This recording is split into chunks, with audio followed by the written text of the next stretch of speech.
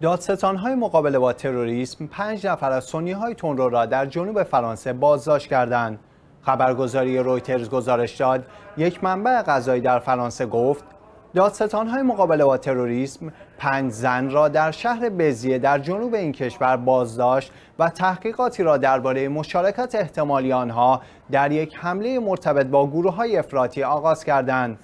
گابریل آتال سخنگوی دولت فرانسه در پاسخ به سوالی درباره این بازداشت‌ها که شبانه صورت گرفت گفت در این مرحله اطلاعاتی درباره هدف از این حمله ندارد.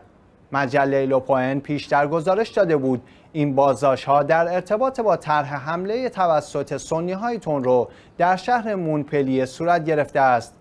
این مجله افزود بازپرسان پرونده به خصوص بر روی یکی از زنان بازداشتی تمرکز کردند. و دیگر افراد بازداشتی شامل مادر و خواهران وی می باشند.